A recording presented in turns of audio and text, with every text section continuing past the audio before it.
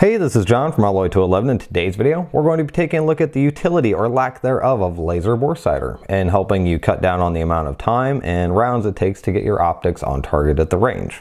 Now, I'm not going to be going into much on the particular setup or how to use a laser bore sighter because there are lots of videos about that already.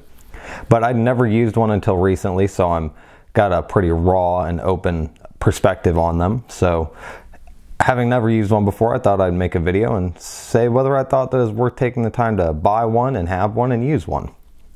Recently, I acquired a few different optics for a few different caliber of firearms that I wanted to try out, and so anything that could help me save on ammunition, as ammunition is expensive, and time, because it's hard for me to get time to go to the range, would be great. Now there are a few different types of laser bore sighting devices. Generally they go into two different categories, either ones that go into the muzzle or attach at the muzzle or ones that go into the chamber. Now, if you look at the ones that go into the chamber, you'll see those as single chamber inserts from $5 and up. And for the ones that go in the muzzle, you can find them like this one for sub $15 to, I, I did see some for as high as 65, but those did look really, really nice. I saw a name brand one that is about the exact same as this for $30. So I wouldn't spend more than $15 and I'd buy the same one because they all work in the same manner. So anyway, let's go ahead and open it up. All, all of the Arbor ones work in the same manner. Now ones that go in the chamber, they work differently. You have a chamber insert that actually goes in the chamber and then the laser goes out that way. Ones like this actually go in the muzzle. So anyway, let's go ahead and open it up. And just kind of a quick rundown of what you have inside. You have a foam insert, a couple Allens, some batteries, a little battery holder, some arbors that fit down into the barrel. This one fits calibers 22 to 50. So a wide variety, wide variety of calibers. That's actually one of the reasons why I wanted one of these arbor style uh, laser bore sighters is because I have a variety of calibers to do and buying a chamber insert for each one of those would just be economically not feasible for me. So if it's going to help me out, it had to be cheap. So less than $15, also pretty good. Now something I should have done when I first got this was pull all this stuff out because down below all the rest of the stuff, you have the handy dandy instructions for the Golden Future Laser Bore Sight Collimator. So these are important. You do need the instructions and you do want to use them. So now when I first used it, I didn't actually use the instructions because I didn't realize they were in the bottom of them. If I'd have read through them, I would have realized that the laser is calibrated from the factory. That you have a, these Allens around here. Don't mess with those because they're supposedly calibrated from the factory. I ended up having to do some recalibration with it. So read the instructions. They're in the bottom. You wouldn't look there first, but well, that's where they are.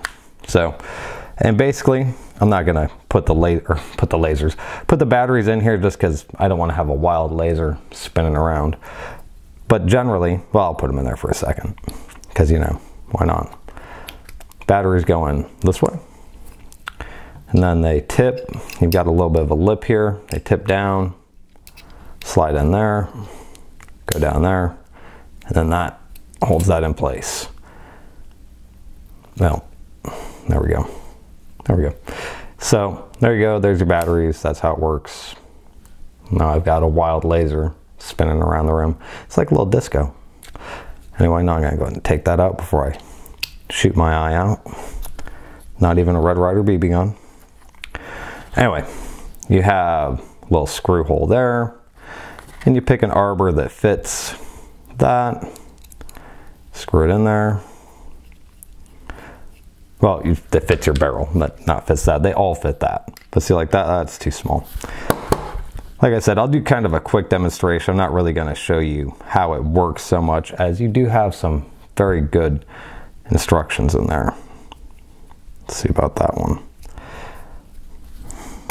Hmm, yep, that one fits. Okay, so basically how you'd use this, although, you know, I may have picked up, no, Picked a good one. Okay, go ahead and put the arbor in. And then you tighten it. You want to tighten it until well, hold on, let's pull this back out real quick.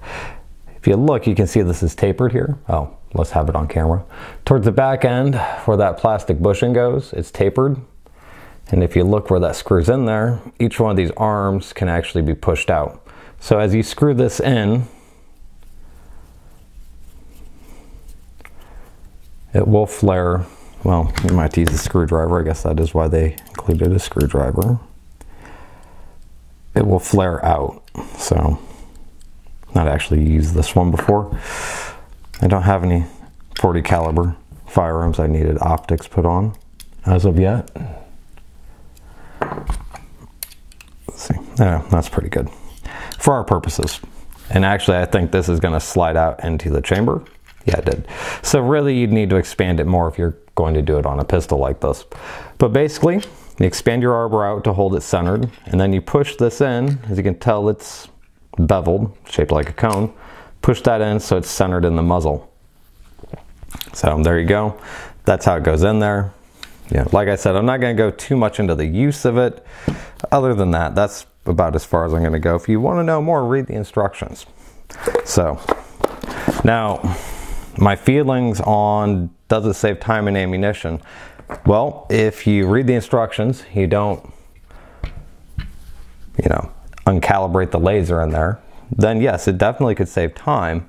Um, and it definitely helped get my left and right right on. Now, if you're using this indoors at short ranges to try to set it up, your uh, elevation is definitely going to be a little wonky and a little harder to do if you're at a very very close range. So that was a little off for me on the first couple shots on the first firearm I used with it. Now after that, it was better because I realized I needed to adjust it even more. So left and right, it was almost dead on first shot. I was really happy with that. Left and right tends to be the hardest for me to do. Um, so that was right on the up and down. I think I had it adjusted within maybe five shots. So really all in all for a less than $15 item, it probably saved me $15 in ammunition just in the few optics I've used on it so far. So in my opinion, if you had one or two optics to set up on one caliber firearm, well, if you only had one caliber firearm and you wanted to set multiple optics on it, I'd actually say a chamber insert would be probably worth the money. But otherwise, if you only had one optic to set up, would I say go ahead and buy this? Eh, maybe, maybe not.